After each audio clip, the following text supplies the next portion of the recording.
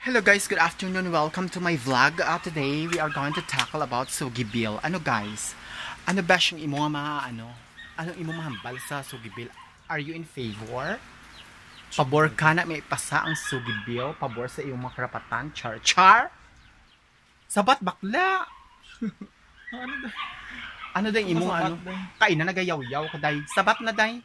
Ano ba yung imo nga opinion? Pabor ka ba na may ipasa ang Sugi Bill? Kasi napaka-hot issue siya sa panahon ngayon. Isipan ko sa isabat ko day. Bakla daw. Kumumango sa sa imo day. May isip ako sa Hay dia. Ay isipon mo ta day. Mag-isip ka gaga ka bakla ka day. Kumumango ti mo day. Anong isip? Dapat hindi na siya ginaisip sa imo nga sariling opinion, idea kung ano sa imo bi ang karapatan mo kung okay ba sa imo mga ipasa para mapatupad ang batas na mabigyan ng karapatan ang mga katulad nating mga transgender. hindi hindi pa na tayo mga transgender. We are part of the LGBT community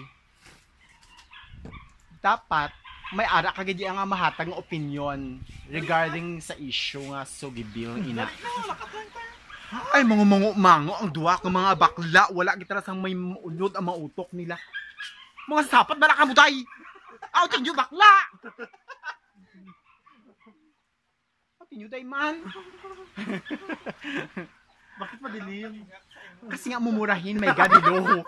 Diyos ko, si, sob ka na lang. Sob ka na lang. Yun na naman, it's very maulan. Maulan na hapon every wine. Bakla mo muma. Huy, bakla, naghalinting mo, bakla. Ay, Diyos ko, ang bakla naglayas. Kagin pamangkot ko kung ano ang mga karapatan na dapat na ano iyaya. Ano dahil na ano timo bakla? Ano bakla, ano pabor bala ka mo? Ay, Diyos ko, mga mo. Ano ko da? Ano timo bakla? Pulwa para sa isang. Char.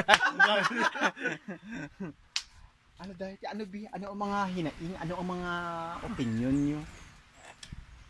Ay, wala mga malatayon ang mga panguna-una sa mga diputa nga bakla. Ay, shut up.